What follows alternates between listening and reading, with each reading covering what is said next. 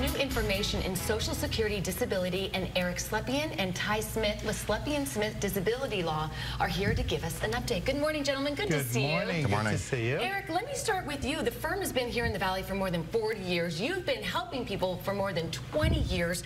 Tell me, you joined forces with Ty to form the Slepian Smith Disability Law. Tell me about that. Well, really, we're very excited about the partnership.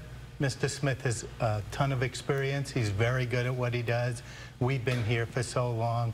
We have a great reputation with the judges. He's a wonderful addition. What are some of the new developments in case law?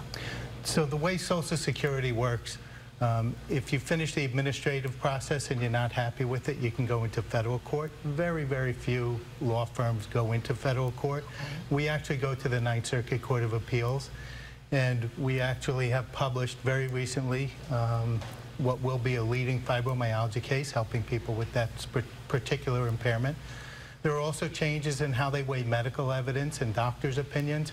Those changes are going to make it harder and so we strongly suggest that you get professional assistance with your claim as soon as possible. So you're able to help your clients from the beginning all the way through this process. So Ty, let me ask you, what should someone expect when they're going through the process of trying to get Social Security disability? It's a really hard question to answer because it's a long and arduous process.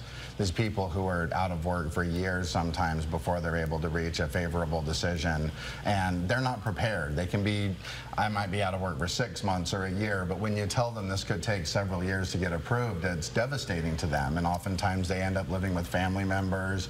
It can be uncomfortable. Sometimes they end up homeless. And wow. it's a hard, difficult process. And there are a number of social and political factors that are making it harder and harder to win disability.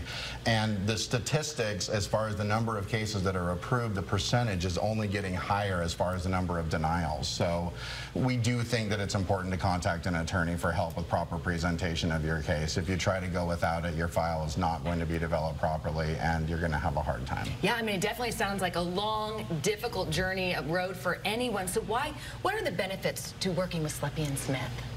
Uh, well, the reason that I joined Mr. Slepian in the first place is that he had an excellent reputation in the community. I've been doing this area of law for five years when I came to start working with Mr. Slepian, and I worked very hard to make sure that I was going to the right place. And he has an excellent reputation in the community. Uh, he has a very good success rate, and ultimately, he's a great guy. And that really mattered to me when I was making a decision about what to do. Uh, the firm has such a good reputation for getting the files developed, and believe it or not, that's something that a lot of lawyers really struggle with is just getting all the evidence into the judge. And we have one of the best reputations within the court system about getting that done, and that helps our overall profile. Yeah, we all need expertise because most people have no idea what they're doing, so they rely on you two. Gentlemen, thank you so much for coming in. We appreciate it. Thank you. Thank and you. for more information on Slepian Smith Disability Law, visit them online at slepian.com or call the number on your screen.